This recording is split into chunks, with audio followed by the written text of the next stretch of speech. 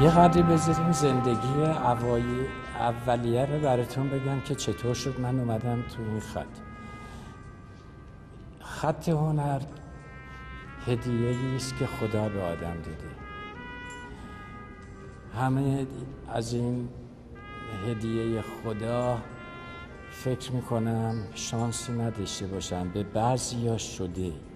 یکی صدای خوشه. نویسندگی هنره.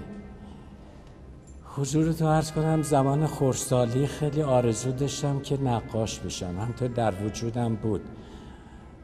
مسافرتی که به مازندران کرده بودم تو قطار از جنگل ها که رد شد پیش خودم گفتم امکانش هست این برگای زرد و نارنجی و قشنگ و بکشم. و خب الان حس می‌کنم که شدم.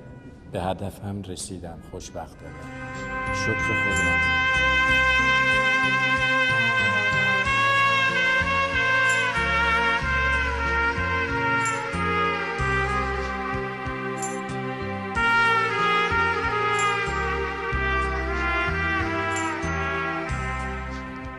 شیب کار من اینه که این اسم خارجیش lino cut بهش میگن یعنی کندکاری روی لینولئوم و چاپ.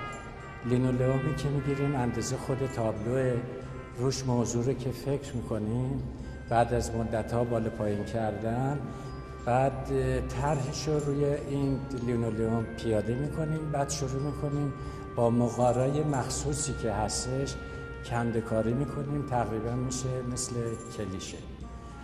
بعد روش مرکب چاپ میمالیم و بعد چاپ می‌کنیم که حاصل کار اینطوری در.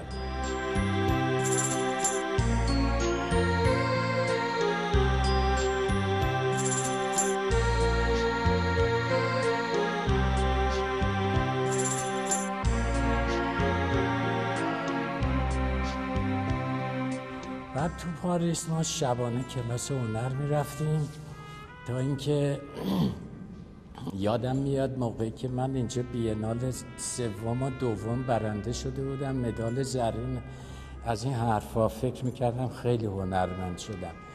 و کلاس شبانه هنر که می‌رفتیم نشستم پیش هنرجوها شروع به کار آرتیسوازی و تون تون کار کردن بازوغال و استاد که می اومد از بالا سر ما رد می شد پیش من وای نمیستاد رد می شد و من بغل دستی رو نگاه کردم دیدم اصلا کار چیز دیگه است. باید طور دیگه کار کرد. از اونا که تقلید کردم و کار کردم و بعد استاد اومد نشست و خب زبان هنرم بین المللی مداد گرفت دستش راهنمایی کرد و خلاصه خیلی عوض شدم.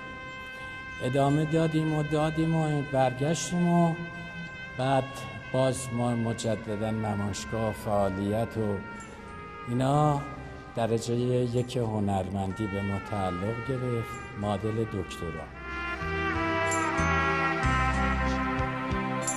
از خورسالی خب تو تکیه می رفتن توی سینی زنی ها شرکت می کردن بعد خب دیگه به خون هممون آجین شده این سنت.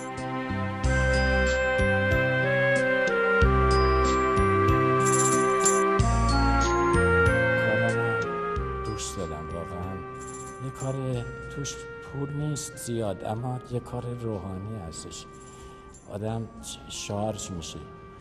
و خب الان من 65 سالمه حس نمی کنم من 65 سالمه. این هنر یه خاصیتش اینه که زمان رو می‌کشه. موقعی که ما پشت تابلو میشینیم کار می‌کنیم نمی‌فهمیم نهار شده شب شده صبح شده زمان هیچ میشه.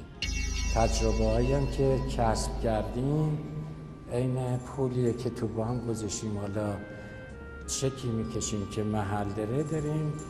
زکات خودمون رو که تجربه داریم به بچه هم داریم به علاقه من و نرجوها داریم. یاد میدیم و از این کار هم لذت می‌بریم.